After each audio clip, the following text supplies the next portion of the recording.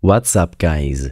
In this tutorial, I will show you how to fix the problem when the EA app is not launching on your Windows PC. This should be quite an easy tutorial. For more information, click on the first link in the description below. The easiest way to fix startup issues for the EA app is to change your app's compatibility settings. Right-click the app icon to access its properties. In the Properties window, switch from the Shortcuts tab to the Compatibility tab. Check the Run this program in Compatibility Mode for option and change it to Windows 7.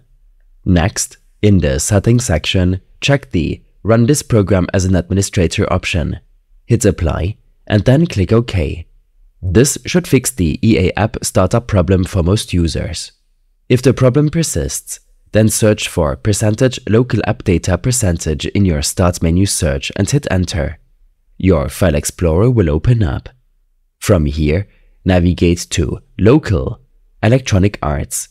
Proceed to delete this folder and then delete this file from your recycle bin. Alternatively, empty the entire recycle bin.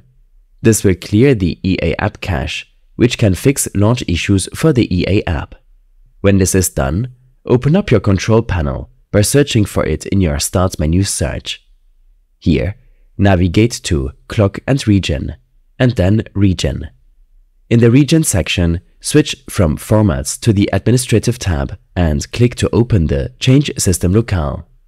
In the Region Settings window, check the Use Unicode UTF-8 for Worldwide Language Support option. Click OK and then restart your PC to implement the changes properly. After a system reboot, the EA app should start without issues. These steps and more information will be available in my extensive guide linked in the description below.